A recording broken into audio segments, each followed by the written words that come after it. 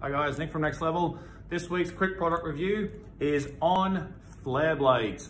Uh, fantastic product. I started using these a couple of months ago uh, just to see what they were like. Uh, I know there's a few marquee NHL players like Patrick Kane, Aaron Ekblad, and a few future players like uh, Owen Power and Connor Bedard that are using them. I was pretty intrigued by the science behind it, um, and it's certainly backed, that's for sure, with uh, a number of studies. Basically what they are, it's steel just, a, just an ordinary runner. However, three mil still at the base where that connects to your holder and then it flares out on a six degree angle on both sides and then you have 4.5 mil at the top, giving you more stability on the rink.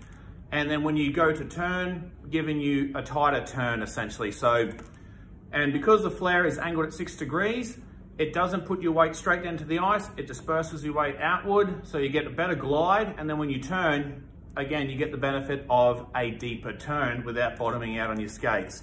Uh, fantastic product. We've had a 100% success rate and positivity uh, back from these. Everyone that skated on them said that that's the best thing ever. I know I personally won't be going back to regular steel. I think it's a fantastic product. Uh, when I first skated them, I thought, great, this is amazing, something new. I love it, feels comfortable.